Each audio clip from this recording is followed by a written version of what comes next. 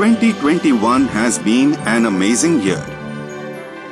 With lots of memories, learnings and earnings and of course, vaccines. Living free and protected, we are blessed to have quantified over the market lows. Relishing good times and sound health, it's time to shape your future with the best of the brands.